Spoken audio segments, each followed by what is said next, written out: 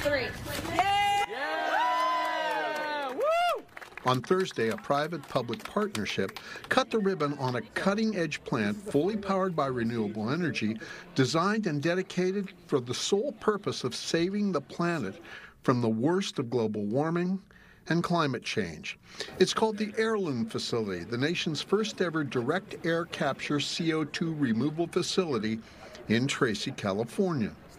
Since the industrial age, humans have sent 2 trillion tons of carbon into the atmosphere, and we add 100 million more tons every day.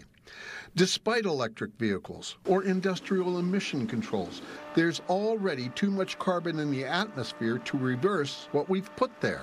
No solution can get us there without pulling carbon from the atmosphere.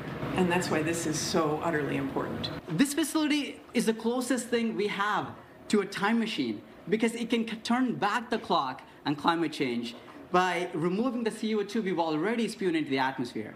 Heirloom, a San Francisco based startup, uses readily available, safe, and cheap limestone rocks that Mother Nature made of silt and organic matter. This rock has everything we need to capture millions and eventually billions of tons of carbon dioxide from the atmosphere. It absorbs CO2 over the course of three days. This is accelerated from the months to years that this can take in nature.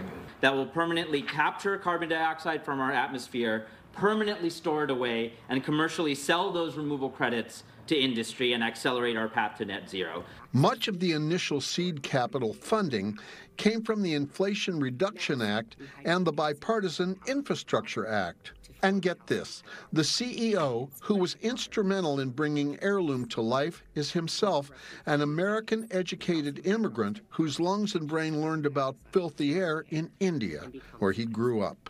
Countless families have dreamt of coming to this country, families like my own. If scaled up massively worldwide, they would be like water treatment plants, but for the atmosphere. Tom Vacar, KTVU Fox 2 News.